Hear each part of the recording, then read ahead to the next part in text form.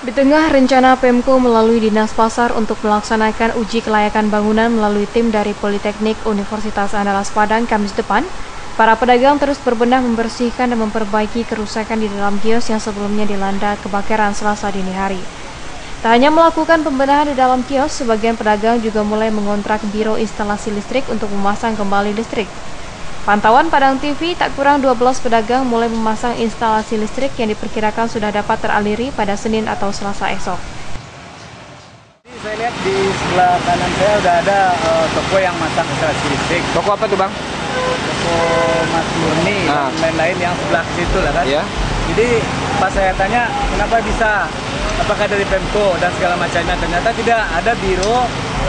Nah, saya hubungin biro tersebut dan saya suruh ke toko saya dan alhamdulillah yang seleret sama toko saya mau ikut Ah. masang instalasi yang sama Iya. dari dari biro tersebut.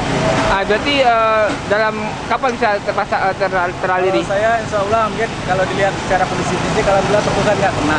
Buat pelanggaran toko Masing Galang Jaya, mudah-mudahan secepatnya kami akan buka.